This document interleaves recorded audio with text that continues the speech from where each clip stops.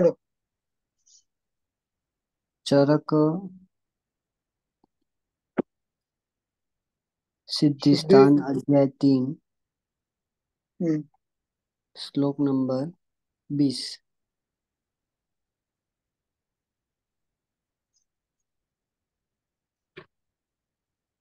हम्म, तिर्यक प्रणीते तु न याति धारा गुदे व्रणः स्यात् चलिते तु नेत्रे। हम्म। बस बस बस बस। ग्रंथ पढ़ते समय एक ध्यान रखना है कि शब्द की रचना वाक्य की रचना का अभिप्राय कहाँ पर क्या व्यक्त होता है? उस आधार पर शब्दों को अलग रखना है। जैसे, अब पहला सूत्र है, तिलक तिरक प्रणीत। तिरक यानी टेढ़ा। बस्ती का नेत्र अनुपृष्ठवंश रुजु, पृष्ठवंश की दिशा में सीधा प्रवेश करना है। अनुपृष्ठवंश। अब सीधा प्रवेश करने के जब स्थान पर यदि आप तिरक प्रणीत करोगे, टेढ़ा मेढ़ा करके डालोगे, तू तू पे रुक रहा है। न याति धारा, ये वाक्य अलग है। तिर्यक प्रणीत हेतु न याति धारा। न यानी नहीं। याति ई धातु का क्रियापद है। गच्छति। याति. याति का अर्थ है आना। कौन? कर्म कौन? धारा। धारा न याति। कब? यानी धारा बहती नहीं. किसकी धारा? बस्ती का द्रव्य जो गुदा में प्रवेश होना चाहिए. अपने बस्ती पटक को दबाया, अपने एनिवा पार्ट लगा दिया और बस्ती धारा शुरू हो गई। अब ये बस्ती धारा शुरू हो गई, यानी बस्ती का नेत्र आपने तिरक डाला तो वो धारा नहीं आएगी, वो कहीं ना कहीं दीवार को सट जाएगा। नहीं आ, सम्यक नहीं आएगी धारा धीरे धीरे आएगी। एक, दूसरा, ये धातुओं का है, अस्थि का है, लकड़ी का है। गुदे व्रणश्चात, एक वाक्य है, गुदे सप्तमी है। व्रण शात, ये एक वाक्य बन गया। शात यानी असुधातु का क्रियापद। है असुधातु का विद्यार्थ, है हो सकता है। गुदे व्रणश्चात चलित हेतु नेत्र। वैसे ही नेत्र यदि चलित हुआ, हिलने लगा। अपने अच्छी तरह से नारा ने उसको स्थिर किया नहीं। तो भी धारा नहीं आएगी या तो व्रण होगा।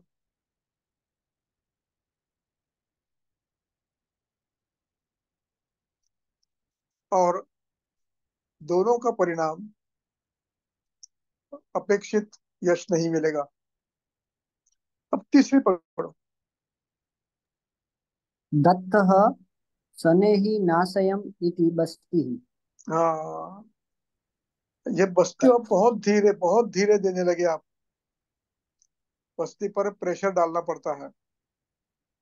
और वो यदि आप नहीं रखते हैं नहीं डालते हैं कम डालते हैं बहुत धीरे धीरे डर के मारे तो क्या होगा? दो आशयम एति। यहाँ शब्द है शनैर नाशय नाशयमेति। नाशय में न अलग है। आशय शब्द अलग है। आशयम एति एति ये क्रियापद है ये धातु का। यानी बस्ती अपने आराम से बहुत बहुत स्लो दबाया बहुत धीरे से दबाया तो पूरे पक्वाशय में जो बस्ती जाना चाहिए वो नहीं जाएगा। न आशय मेथी न आशय मेथी बस्ती ही। अब आगे पढ़ो। कंठम प्रधावती अतिपीडितः च। ज़्यादा पीड़ा रही है बहुत पीड़ा ज़ोर से दबा दिया गुस्से में आकर। तो फंस करके ज़ोर से जाएगा और वो धीरे धीरे छर्दी करेगा। अथवा दुर्गंध देगा अथवा बस्ती का गंध देगा।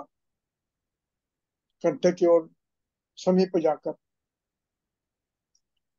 दूर से भी नहीं देना। अगला पढ़ो।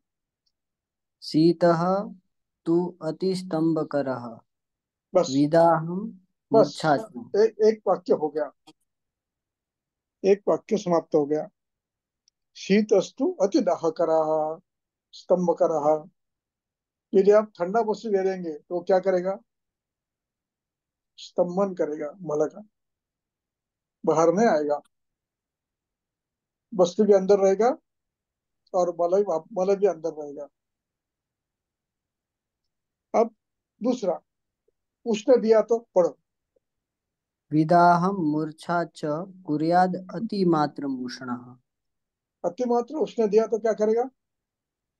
मूर्छा विदाह श्वेत तृष्णा ये करेगा। आगे पढ़ो।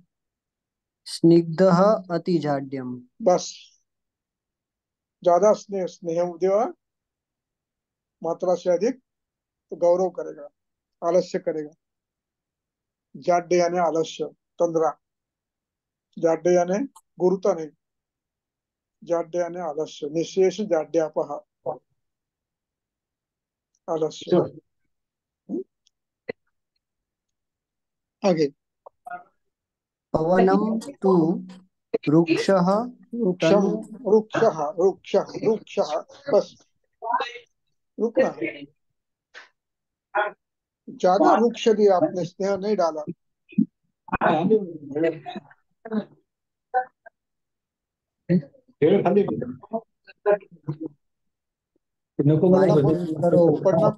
पढ़ना बंद करो। माइक म्यूट करो। तो ज़्यादा वृक्ष दिया तो पक्वाश वृक्ष होगा। वृक्ष पवनम तो वृक्ष वृक्ष पश्य दिया पवनम करोते। अब वृक्ष का जो विसर्ग है वो अगले शब्दों को लगाया उसको निकाल देना। क्या रब, क्या बचा? तू. तु. तनु. तनु. तनु यानी पतला. आपने कल का मिलाया नहीं. पतला दिया. एकदम पानी ऐसा स्वाद दे दिया. तो क्या करेगा? तनु अल्प मात्र, अल्प लवण ऐसा दिया. दो दो शब्द है. तनु दिया, अल्प मात्रा में लवण दिया. क्या होगा? अयोगम करोति। तनु अल्पमात्रम अयोगम करोति। तनु अयोगम करोति अल्पमात्र लवणम अयोगम करोति। आगे पढ़ो मात्राभ्य अधिकः अतियोगम करोति। मात्रा से ज़्यादा दिया तो? मिनिमम मात्रा कम से कम मात्रा 96 तोला है। अब देश काल से उसको कम हो, कम करना है। 700 800 900 और इससे अधिक दे दिए तो? अतियोग करेगा। शोधन का अतियोग करेगा। अतियोगम।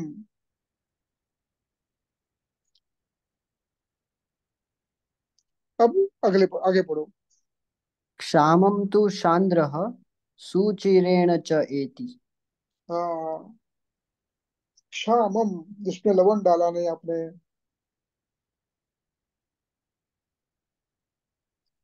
बद्धकोष्ठ है, निबंध है। आपने लवण नहीं डाला। श्लेष्माधिक अपान है। अपने गोमूत्र नहीं डाला। बलवान निबंध है। अपने अम्लरस में ये असव नहीं डाला। उसको क्षाम कहते हैं। तो चिरे नहीं थे, दृश्य आएगा। और सांद्रम बहुत गाढ़ा बनाया। गाढ़ा क्यों बना? अपने कल के ज़्यादा डाला। कल का डालना अनिवार्य है। बिना कल के बस्ती काम नहीं करता है। मलों को आलोडित करके लाने का कार्य कल का करता है। और यदि कल का ज़्यादा डाला तो देरी से आएगा। छुचिरे नहीं थी। अब लवण अति डाला, अगला पढ़ो दाह अतिसारो लवणो अति कुर्यात। आप लवण ज़्यादा डाल दिया। अंदाज नहीं है आपको, इसलिए मैं हम नित्य कहता हूँ। नए नए कर रहे हो, अनुभव नहीं है तो थोड़ा डाल के देखो, आधा ग्राम, एक ग्राम, दो ग्राम, इस प्रकार आप सीखो।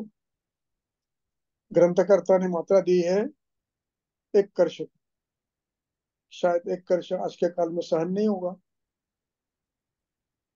तो थोड़ा कम डालते देखिए। एक ग्राम डालो डेढ़ ग्राम डालो दो ग्राम डालो ऐसे धीरे धीरे सीखो। शुचि रहने थी लवणों को तस्मात पढ़ो। कुरियात तस्मात सुयुक्तम समम एव दद्यात्। सब कुछ मात्रा में देने का प्रयास करो। मात्रा में देने का अर्थ यह है देश काल अवस्था रुग्ण बल व्याधि बल देखकर।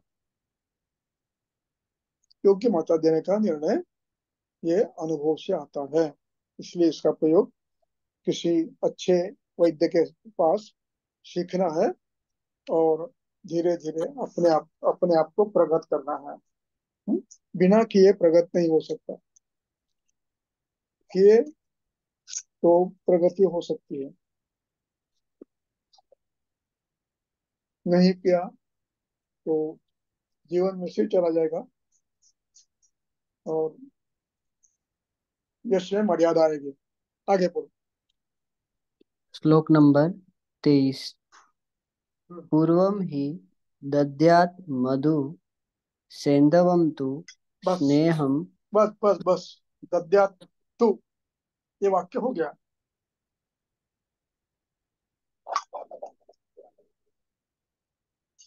ये एक वाक्य है। पूर्वम सबसे पहले क्या करना? पूर्वम तो दद्यात मधु सैंधवम तो।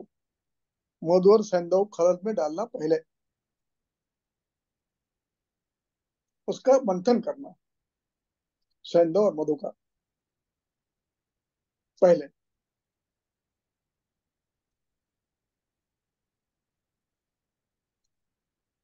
उसके बाद उसमें स्नेह डालना। स्नेह को मंथन करना मधु सैंधव के साथ। समझ गया अब इसके बाद आगे पढ़ो। तथा अनुकल्पम तथा अनु। अनु पर अनु के पास रुकना है। अनुकल्प जोड़ शब्द नहीं है। अनुकल्प का अर्थ होगा अभिन्न होगा। अनुकल्पम। उसके बाद कल्प डालो अनुपसर्ग नहीं है। बाद में इस अर्थ में है। ततो अनु उसके बाद कल का डालो। कल का कितना डालना है? नाति सांद्र नाति घन ज़्यादा पतला भी नहीं रहे और ज़्यादा सांद्र भी ना हो। आगे पढ़ो। विमथ्य संयोज्य पुनः द्रव्यहितम। हम्म। अब ये दस हाँ, तो इसको कल का डाला आपने इसको फिर मंथन करो। या तो खरल चलाओ या तो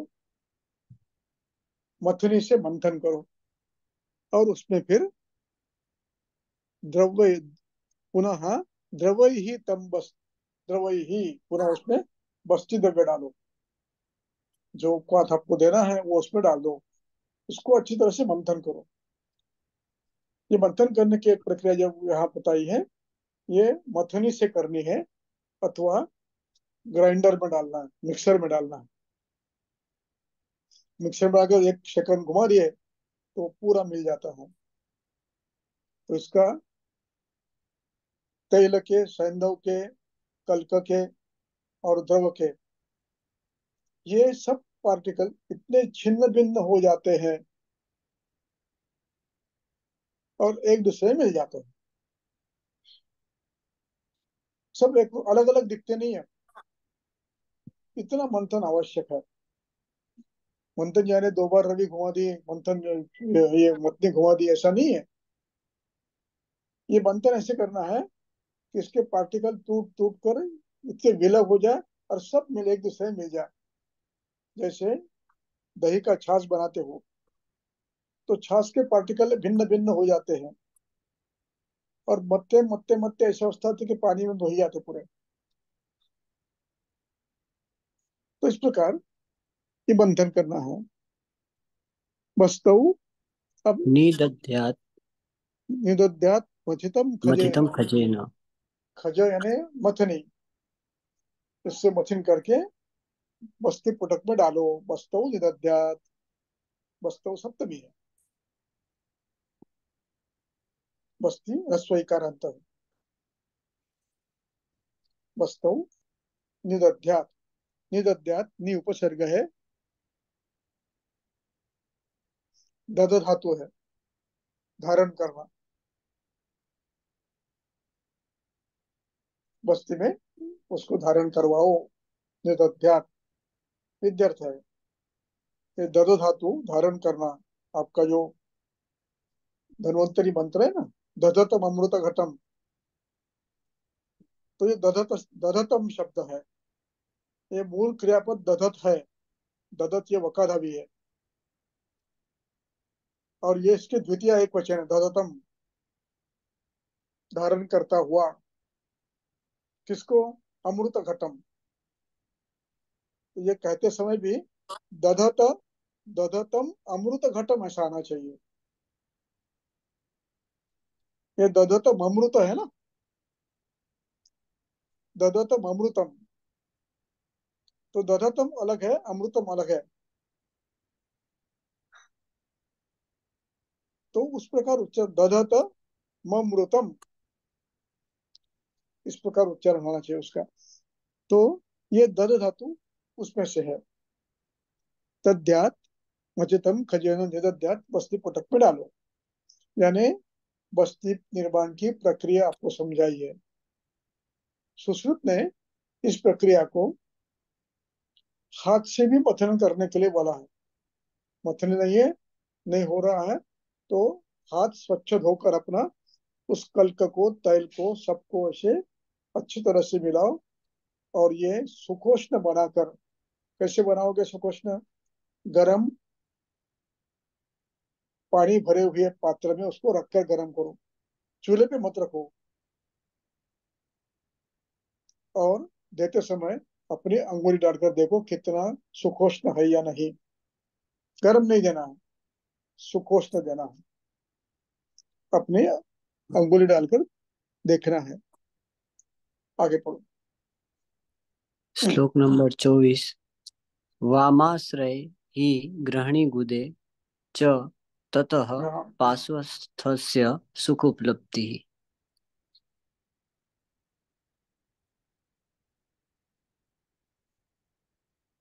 अब यहाँ पर एक शब्द महत्व का है वो पार्श्व संस्थित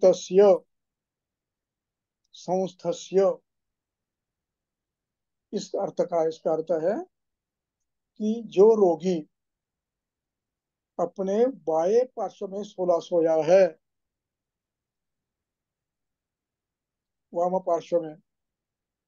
उसमें बस्ती का ग्रहण सुखपूर्वक होता है। अब यहाँ बस्ती का ग्रहण का अर्थ दो है।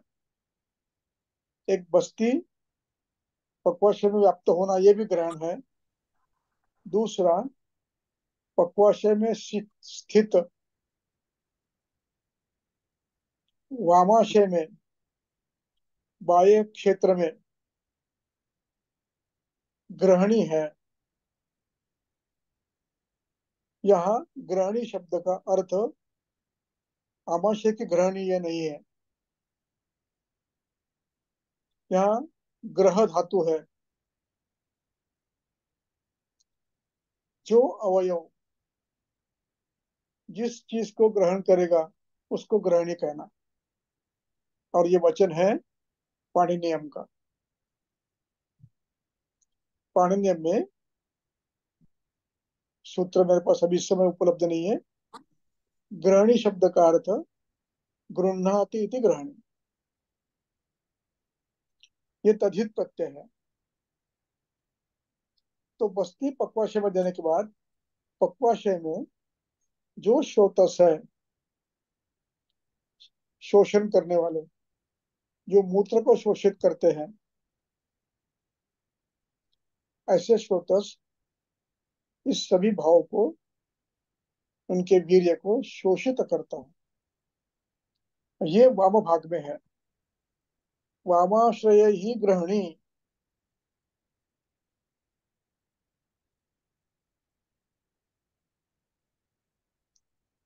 वामाश्रय ही ग्रहणी। ग्रहणी और गुदे। अब ग्रहणी गुदे सामासिक शब्द है, ये समाहार द्वंद्व है। इसलिए यहाँ पर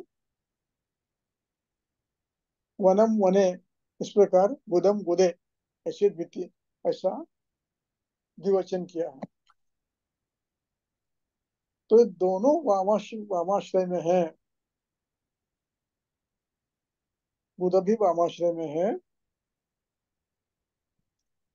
और कुदगत ग्रहणी भी वामाशय में है। वामाशय में नहीं, वामु पार्श्व में है। इसलिए बस्ती का ग्रहण सुखपूर्वक होता है। और लीयंते वलयश्चास्य।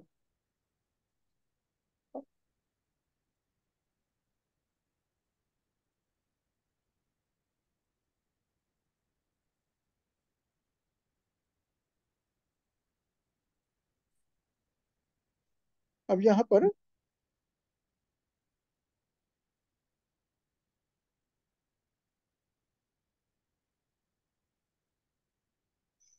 ये लीयंते वलयश्चास्य। इसकी टीका दी है।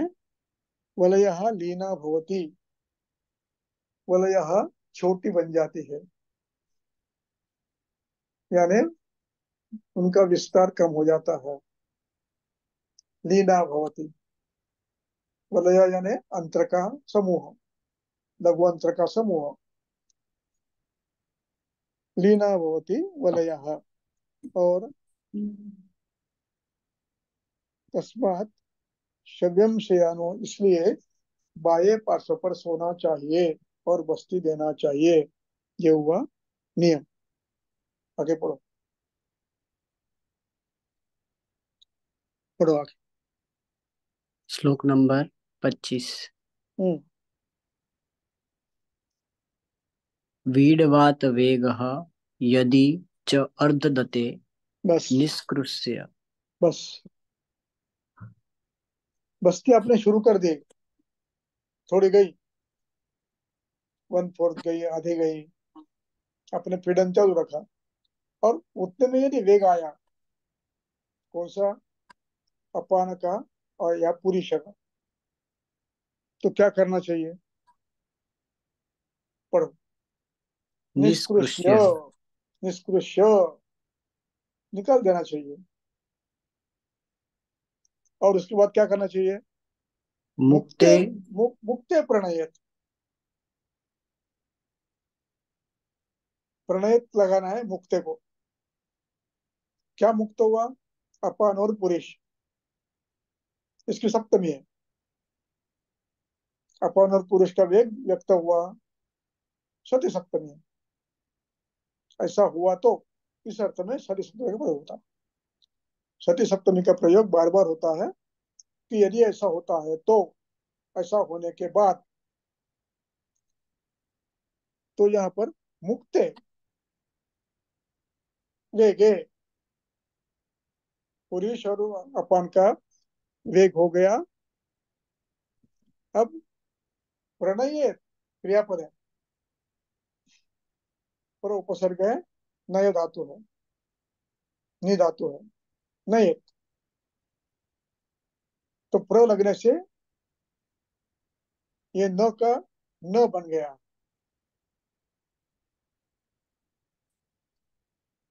इसमें नियम है पानी नियम में।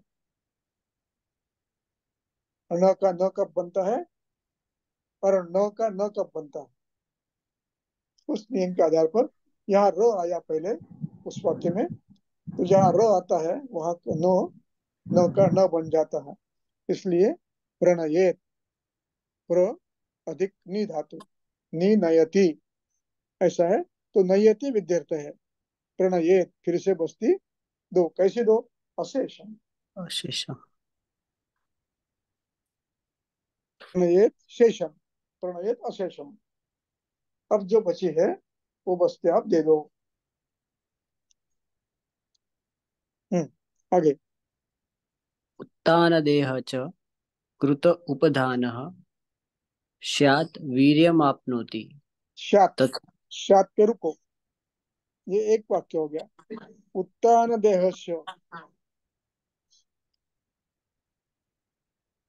कृतोपधान शात बस्ती दिया तो उसको बोलो उत्तान सो जाओ वहाँ पार्श्व में था ना अब बोलो उत्तान सो जाओ उत्तान यानी मुख उधर ऊपर, आकाश की तरफ़ मुख है। पहले मुख वाम पार्श्व में था। अब वो ऊर्ध्व दिशा में होगा। तो उत्तान हो गया।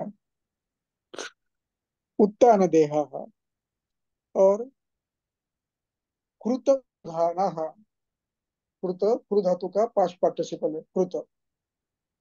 किया हुआ, क्या किया हुआ? उपधान। उसको सिर के नीचे तकिया दे दो थोड़ा सा छोटा। और शरीर पर कुछ लौटा दो। शरीर पर एक वस्त्र डाल दो। कृतो बधाना हम्म? आगे। ऐसे करने से हम्म पढ़ो।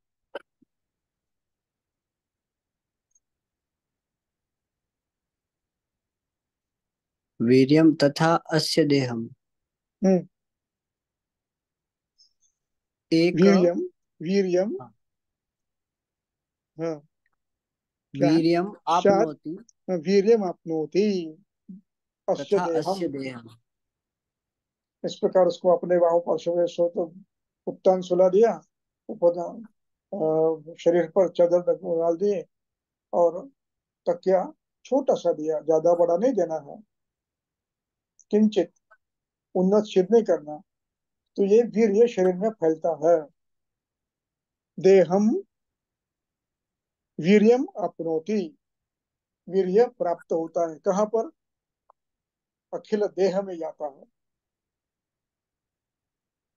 इस, इसके पूरे शरीर में जाता है।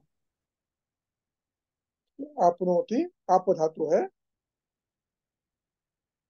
आपनोति यह परस्पैपदी वर्तमान कालवाचक तृतीय पुरुष एक वचन है। आपनोति यहाँ तक अब ये बस्ती की प्रक्रिया यहाँ पर पूरी हो गई है। अब इसके बाद हमें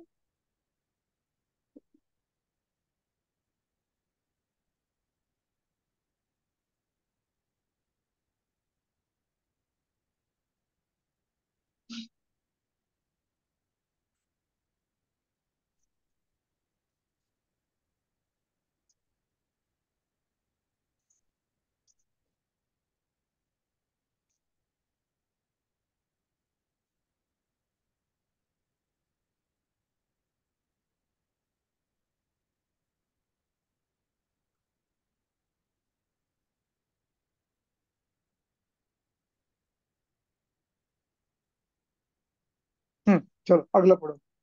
श्लोक नंबर छब्बीस। एक अपकर्षयति अनिलम स्वमार्गात। हम्म अब आप बस्ती देते हैं।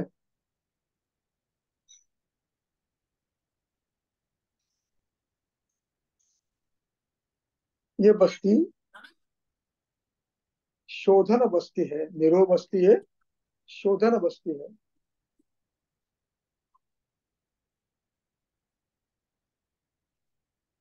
निरूढ़।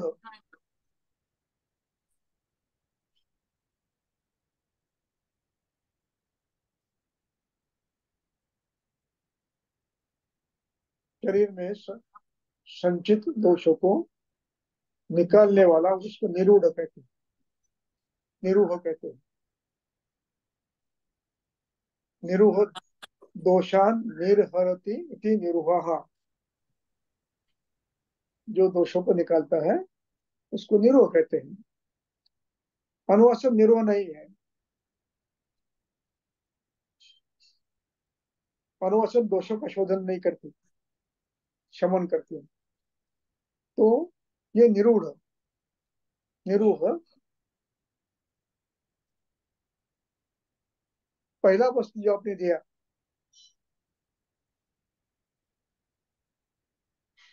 ये क्या करता है? अपकर्षति अनिलम स्वमार्गात।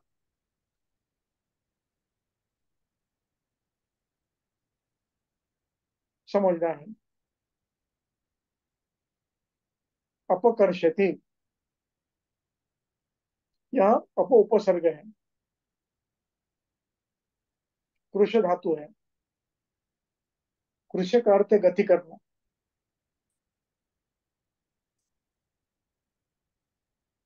और यहाँ पर अप अर्थ का अर्थ निकाल देना। अपावृत्य अपकार से अनेक होते हैं संदर्भ से।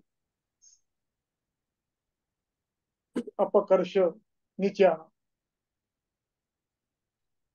अपवाद, बुरा अर्थ लेना। अपघात। अकस्मात घटना।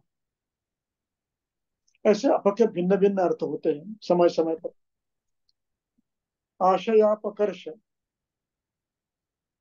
तो यहाँ पर आशय में रुकना यह अर्थ है, कर्ष गति करना। तो यहाँ अपशब्द का अर्थ गतिबद्ध करना। यहाँ पर अपशब्द फिर से आया है, अपकर्षति अनिलम।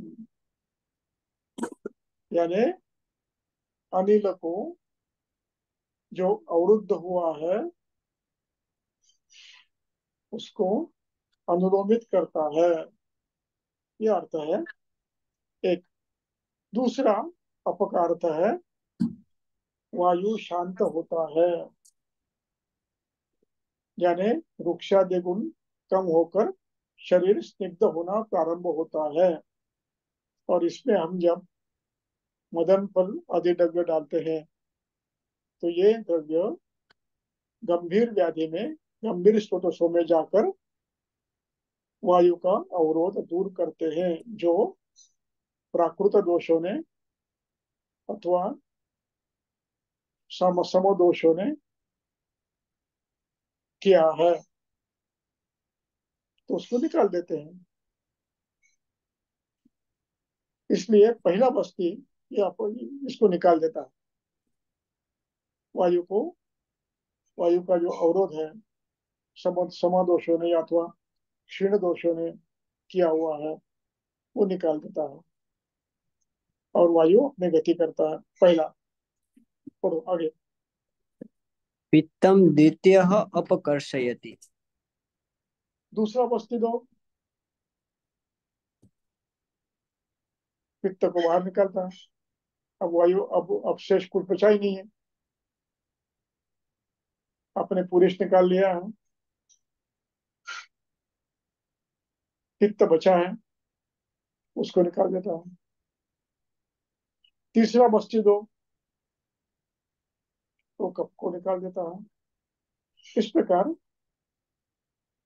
तीन बस्तियों में आप वातव्याधि में जो थोड़े बहुत बड़े हुए दोष है, उनको आप आवश्यकता हो तो निकाल सकते यदि आवश्यकता हो तो आप तीन बस्ती लेकर शोधन कर सकते अब ये इसका उपयोग कैसे करना? इसका प्रयोग कैसे करना यह बाद में देखेंगे। इसके दो विकल्प हैं। चिंतन करना, क्यों करना है? तो विकल्प दो है। एक एक ही दिन में तीन वस्तु दो। निरोध। पहला दिया, दूसरा दिया, तीसरा दिया। ये विकल्प सही है क्या? रास्ता है क्या? सम्यक है क्या? युक्त है क्या? ये चिंतन करना। है दूसरा। आप एक दिन बस्ती दो शाम को अनुवासन दो दूसरे दिन फिर बस्ती दो निर्वह दो फिर अनुवासन दो फिर तीसरे दिन फिर निरोध दो फिर अनुवासन दो ऐसे तीन बस्ती देकर आप सप्ताह में तीन तीन या लगातार तीन बल के अनुसार देकर आप शोधन कर सकते हो तीनों दोषों का यहाँ पर वायु प्रधान पित्त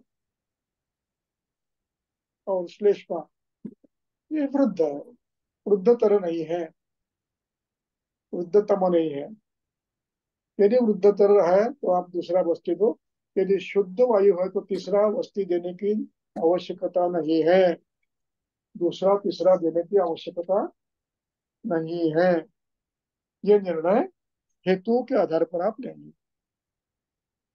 अनुपदेश है।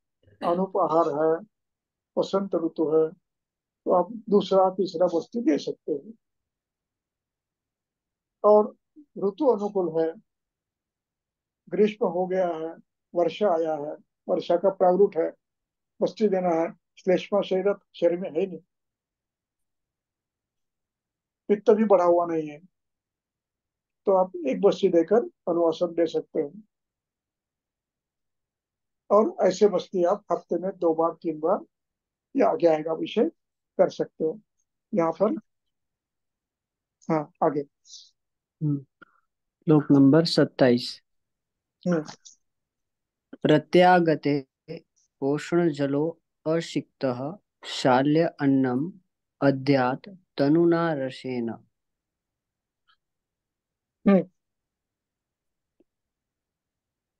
समझ में आ रहा कुछ? प्रत्यागते। सप्तमी। प्रत्यागते। बस्ती बाहर निकल गया।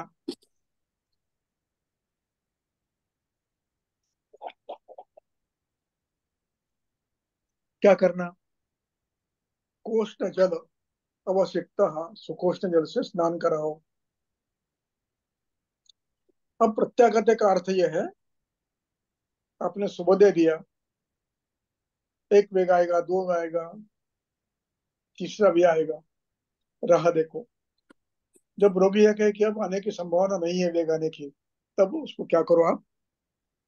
सुखोष्ट जल से स्नान करवाओ। सुकोष्ण के लिए एक शब्द चरक ने प्रयोग किया है पिछले श्लोक में। यथा न्याय यथा न्याय का अर्थ है ऋतुगत न्यायम अनतिक्रम्य। ऋतु कौन सा है? ग्रीष्म ऋतु है तो सुखोष्ण की ज़रूरत नहीं पानी, सिंपल पानी दो। वो गुनगुना रहता ही है ग्रीष्म ऋतु में। इसलिए यथा न्यायम करना सुखोष्ण का अर्थ है और फिर भोजन देना है तो क्या देना है? पढ़ो। जीर्णे तु शाल्यन्यम अध्यात। हाँ शाल्यम अन्नम अद्यात् तनुना रसेन शाली ग्रीष्मिक शारदीय हेमंतिक। ये शाली का चावल बनाकर आप पतले मांसरस के साथ दे दीजिए। आगे। जीर्णे तु सायं लघु च अल्पमात्रं भुक्तः अनुवास्य परिबृहणार्थम परिबृहणार्थम सायंकाल में क्या करोगे आप? भोजन जीर्ण हो गया है? अब भोजन जीर्ण हुआ है। जीर्णे तो सायम या वाक्य खत्म हो गया। ये वाक्य अलग है। जीर्णे तो सायम सप्तमी।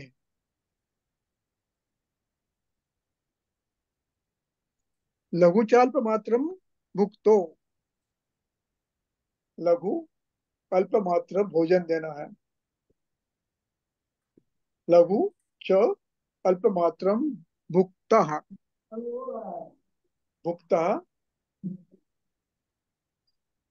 ये पास्ट पार्टिसिपल भुज धातु का भोजन करना। तो उसका भुक्त बन गया।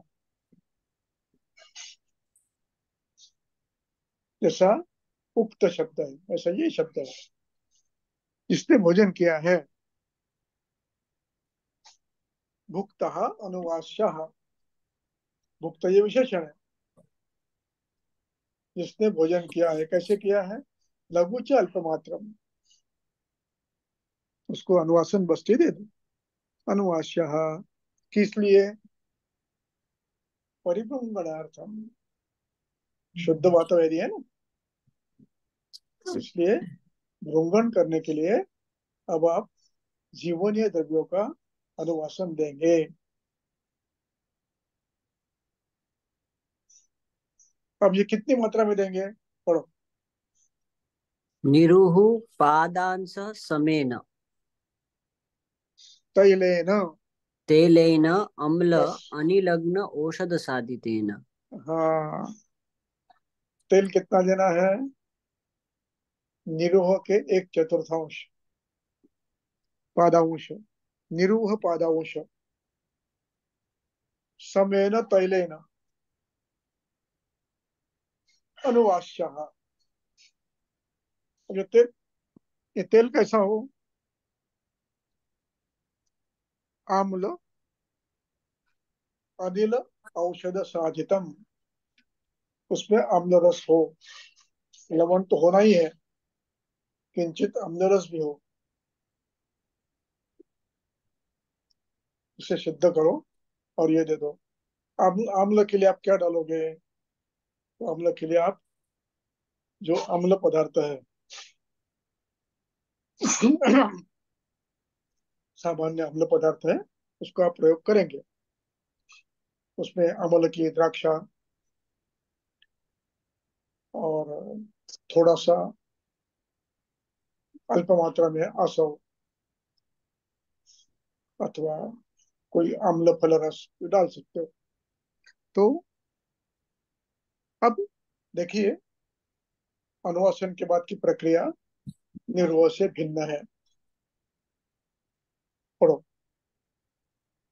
दत्वा स्पीचो पाणितलेन। हम्म, दत्वा स्पिचौ पाणितलेन। हन्यात्। हन्यात्। बस्ती देने के बाद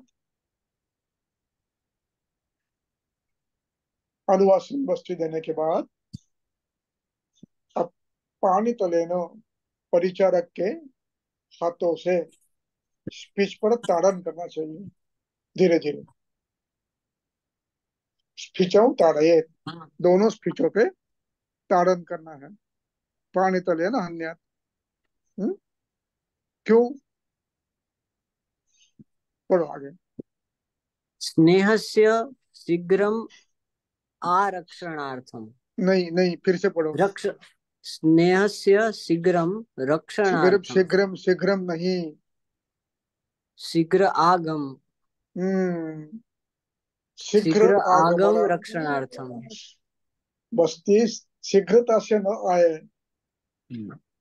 इसलिए उसको रोकने के लिए केवल ताड़न करना है रोकना नहीं है। पेशेंट को बोलना बस्ती वापस आया तो रोकना नहीं। बेगावरत नहीं करना। लेकिन आप ताड़न करके उसको रोकेंगे आगम रक्षणार्थम आगे पढ़ो। ईसच्च पाद अंगुली युग्मम आच्छेद उत्तानदेयस्य उत्तान सुलाकर ताप ये ये कर पहले ताड़न कर लो। पिछो ताड़न करने के लिए आप उसको औंधा सुलवाओ और फिर उत्तान करो।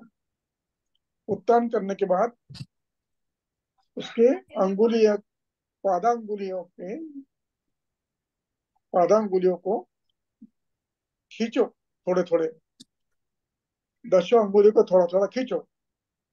क्यों? तो स्नायुओं को अब नीचे की गति देने के लिए।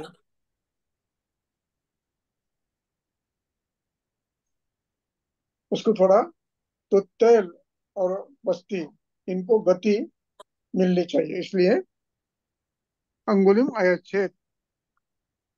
और तलो प्रमुर्जात पैर पैर के तैलो, तलवों को हाथ से घर्षण करना, ताकि तेल शीघ्रता से शरीर में फैले, गति प्राप्त करके शरीर में फैले।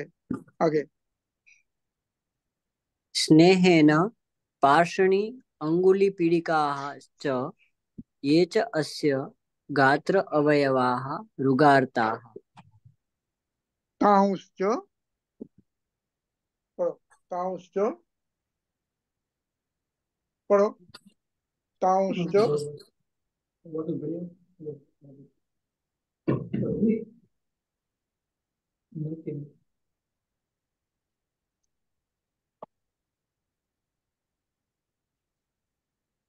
उत्तान देहस्य पादतल को हाथ से मलो और पार्श्वी अंगुली, पिंडिकाश्च, पार्श्व पार्श्वी यानी पैर का, तलवे का, अंतिम छोर, पीछे का पार्श्वी अंगुली, पिंडिका पिंडिका यानी जानू और गुल्फ के बीच का भाग, पिंडिका च और इसके अतिरिक्त ये च अस्य अवयवाः। और इसके अन्य जो अवयव रुगार्त है मन्या होगी स्कंद होगा अंश होगा पृष्ठ होगा कटी होगा इनको तैल से मर्दित करो।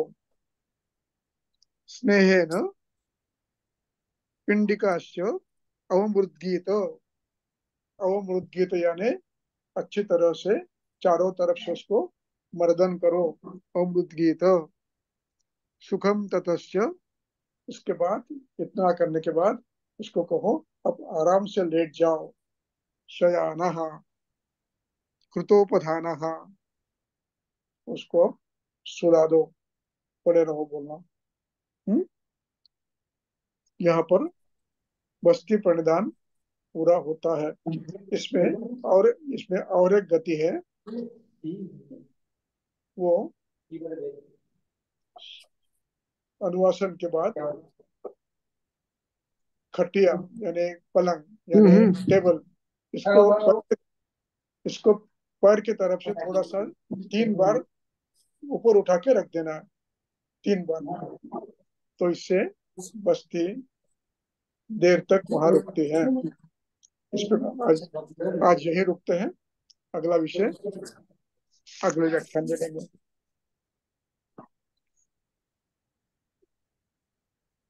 किसी को कोई प्रश्न है तो पूछ सकते हैं। प्रणाम सर। प्रणाम। सर मेरा प्रश्न है कि आपने बोला कि नीरू से चतुर्थांश अनुवासन में मात्रा लेने की और आपने हम्म। बोला अम्ल रस भी डालने का तो अम्ल रस कितना डालने का सर? अम्ल रस थोड़ा डालना क्योंकि वो उष्ण और तीक्ष्ण होता है। हम्म। तो उसमें दाड़िम डाला तो आप एक तोला डाल सकते हो। हम्म और दूसरा कुछ डाला तो ज़्यादा से ज़्यादा दस एम एल पंद्रह एम एल के ऊपर नहीं डालना। जो तीक्ष्ण है वो ज़्यादा नहीं डालना। हम्म, हम्म, और सामान्य अम्ल है तो आप दाड़िम का रस है तो आप एक एक तोला डाल सकते हो। प्रणाम सर धन्यवाद।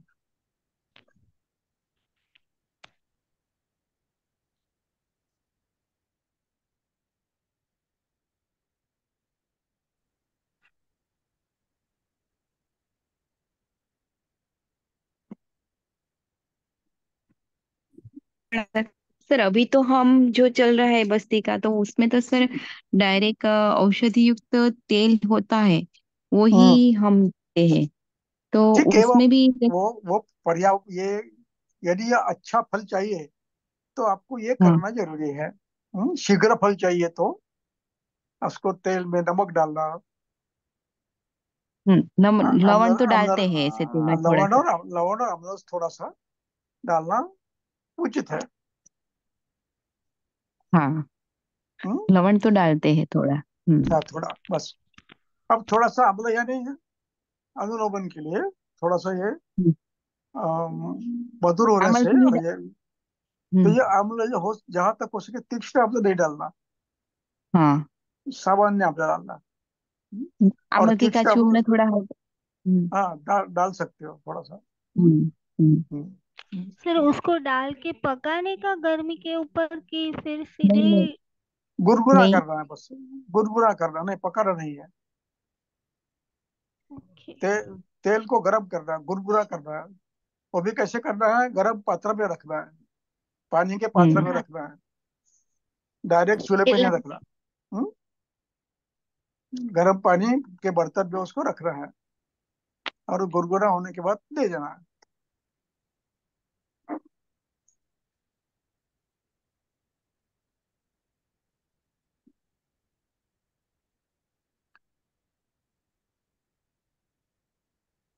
चलो ठीक है? प्रणाम सर। धन्यवाद प्रणाम सर। धन्यवाद। हम्म। प्रणाम सर।